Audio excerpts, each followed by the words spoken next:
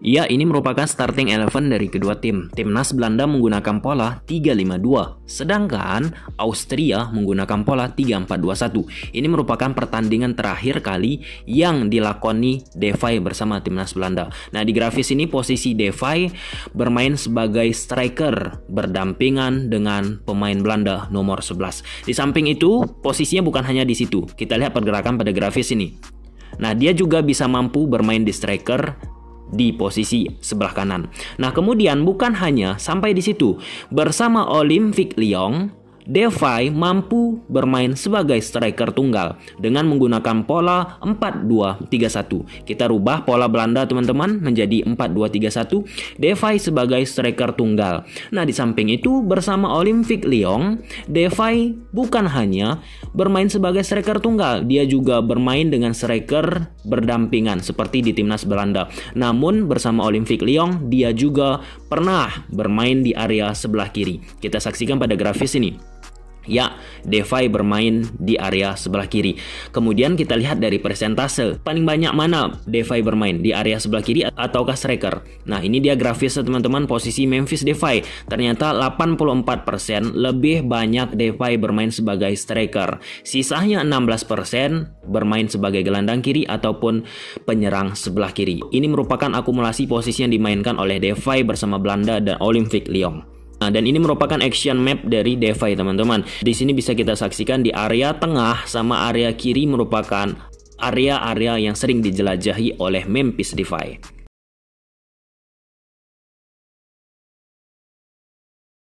Dan ini merupakan keunggulan yang dimiliki oleh Memphis Depay yaitu shooting-shooting yang dilakukannya dari luar kotak penalti. Nah, di sini teman-teman di samping shooting yang akan dia lakukan, Memphis Depay memiliki posisi yang sangat baik. Teman-teman saksikan pemain-pemain Austria posisinya sangat jauh dari Memphis Depay sehingga De Jong bakal memberikan umpan balik ke Depay dan Depay langsung melakukan shooting. Kita saksikan, iya berhasil di blocking. Kemudian ini kembali teman-teman akselerasi Devay lakukan dan pada akhirnya Devay bakalan melakukan langsung shooting teman-teman berhasil keluar dari empat pemain Ukraina. Kita saksikan shooting, ya. Dan kembali teman-teman, shooting dilakukan oleh Memphis Depay dari area-area luar kotak penalti. Nah, di sini posisi kembali menjadi titik penting ketika Depay melakukan shooting. Posisinya sangat sangat baik dan ideal untuk melakukan shooting karena pemain-pemain dari lawan sangat jauh dengan posisinya. Kita saksikan, iya berhasil diblok oleh kiper.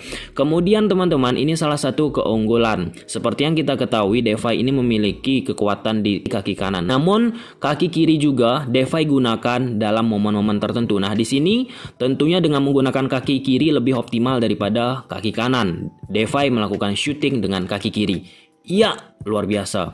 Dan kembali teman-teman, pemain Olympic Lyon memberikan umpan ke Devay dan pada esensinya di kumpulan video ini kita lihat terlebih dahulu shooting-shooting yang dilakukan oleh Devay. Kita lihat, ya Devay shooting langsung skill. Sayang sekali dan ini kembali teman-teman shooting dilakukan oleh Memphis Depay. Hobi banget nih Depay melakukan shooting-shooting dari luar kotak penalti. Salah satu pemain di Liga Prancis yang hobi dan gemar melakukan shooting dari luar kotak penalti. Nah, di sini teman-teman saksikan sempit banget ruang yang didapat oleh Depay tetapi Depay sudah memiliki niat untuk melakukan shooting untuk menghasilkan peluang. Tetapi tendangannya kurang begitu maksimal. Kemudian kita saksikan kembali di sini teman-teman posisi kembali ya teman-teman bagaimana pintar banget Devay mencari posisi agar ruang tembaknya sempurna. Baik teman-teman. Pemain Olympic Lyon memberikan umpan ke Devay dan lawan jauh banget posisinya dari Devay. Kita saksikan Devay shooting peluang. Aduh sayang. Dan ini merupakan statistik shooting rata-rata per match. Ternyata Devay teman-teman kalau kita komparasikan kita bandingkan dengan pemain-pemain Barcelona lainnya urutannya berada di peringkat kedua. Pertama Messi dengan 5.5, sedangkan Devay 3.6. Artinya teman-teman ada 3 sampai 4 kali shooting yang dilakukan oleh Devay di dalam satu match sedangkan Messi ada 5, sisanya Aguero 1, Griezmann 2, Trincao 0, Dembele 1.94. Ansu Fati tidak dimasukkan datanya karena cedera teman-teman. Ya, walaupun Devay bermain di Liga Prancis tidak salah kita komparasi.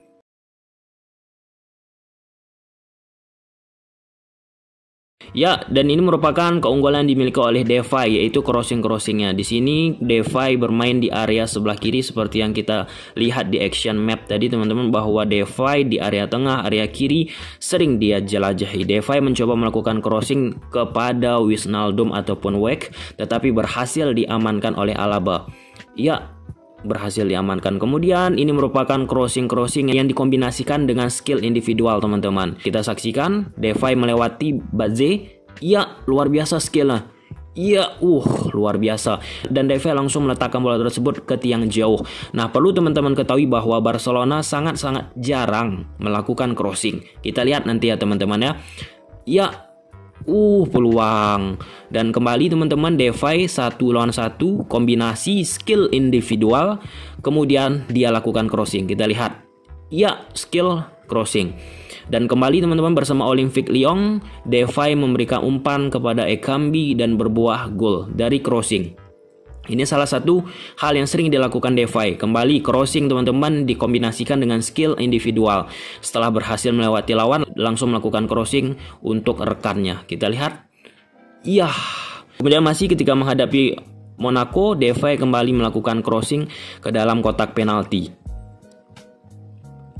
Ini salah satu senjata yang dimiliki oleh Memphis DeFi. Kemudian kombinasi skill diakhiri dengan crossing ke tiang jauh.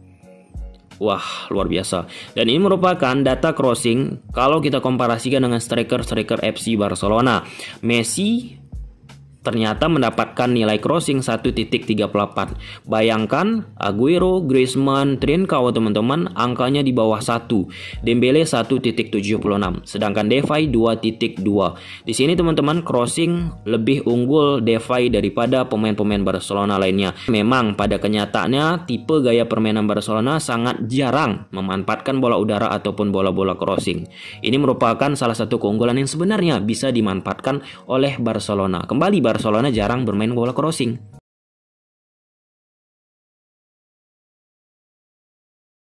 Dan ini merupakan PC yang dimiliki oleh Memphis Depay. Melalui PC-nya dia sering melakukan dan memberikan umpan-umpan kunci kepada rekannya.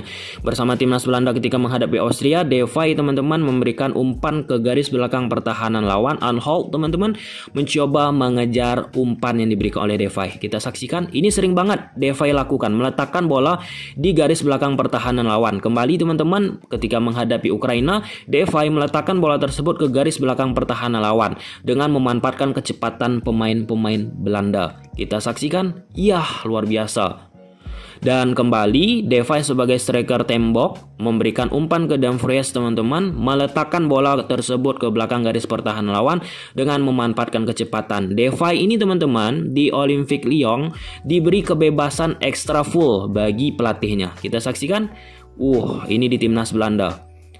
Dan Devay lagi teman-teman menerima bola, posisinya sangat bagus dan meletakkan bola tersebut ke belakang garis pertahanan lawan. Bola-bola daerah, kecepatan. Iya. Dan lagi teman-teman bersama Olympic Lyon, di sini Devay meletakkan bola tersebut ke belakang garis pertahanan lawan. Ini sering dilakukannya teman-teman yang enggak satu dua kali, tetapi berkali-kali dari video yang kita tampilkan kali ini. Iya, umpan daerah harus memiliki kecepatan. Di sini teman-teman diberikan kembali umpan kepada Ekambi tetapi berhasil diamankan oleh pemain belakang Monaco. Ya, berhasil diamankan. Ya, dan ini merupakan data key passing yang dimiliki oleh Memphis Depay. Memphis Depay nomor 2 kembali teman-teman. Messi paling banyak melakukan key passing rata-rata 3.5 sedangkan Depay 2.5. Aguero 0.33, Griezmann 1.3, Trincao 0.63, Dembele 1.43. Depay di urutan kedua teman-teman. Sungguh sangat membantu permainan Barcelona dengan kedatangan Depay. Walaupun pada akhirnya pasti ada yang komen, Liga Prancis tentunya berbeda dengan Liga Spanyol. Ya jelas berbeda, tapi nggak salah kita lakukan komparasi.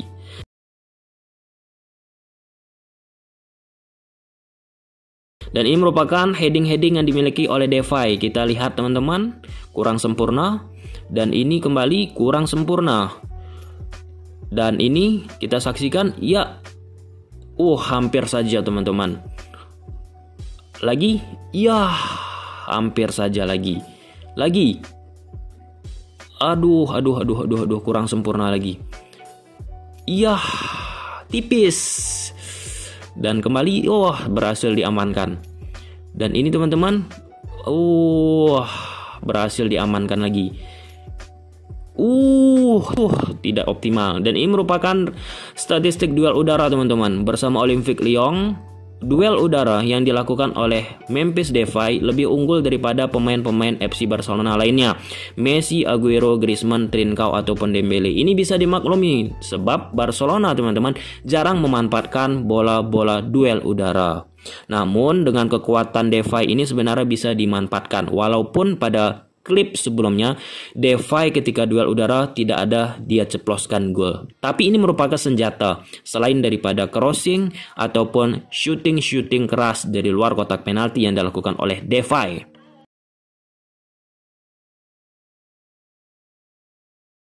Dan ini merupakan skill dribbling yang dimiliki oleh Devay. Satu dua orang yang menjaga berusaha dia lewati teman-teman. Ya skill lagi berhasil diamankan. Memang ini salah satu hal ketika bersama Olympic Lyon, timnas Belanda teman-teman kadang egois terlalu banyak dribbling membuat timnas Belanda ataupun Olympic Lyon peluang menjadi hilang. Namun demikian Barcelona butuh sekali pemain-pemain yang gemar dribbling. Iya, luar biasa. Kita lihat nanti teman-teman datanya ini bersama Olympic Lyon uh uh uh uh uh, uh luar biasa. Luar biasa luar biasa. Dan lagi uh kalau satu lawan satu teman-teman jago banget ya Devay lihat satu lawan satu jago banget. Tapi kalau dua lawan satu kesulitan dan ini merupakan dribbling yang dimiliki oleh Devay rata-rata per match. Messi masih unggul teman-teman. 10 kali dribbling rata-rata per match. Sedangkan Devay 7. Pemain-pemain Barcelona di lini depan lainnya Aguero, Griezmann, Trincao, Dembele, so masih bisa menyeimbangi Devay sama Messi. Dan ini merupakan senjata kembali teman-teman yang dimiliki oleh Barcelona di lini depan karena Barcelona sangat minim memiliki pemain yang mampu dribbling selain Messi ataupun Dembele. Ansu Fati cedera ya, nggak dimasukkan datanya.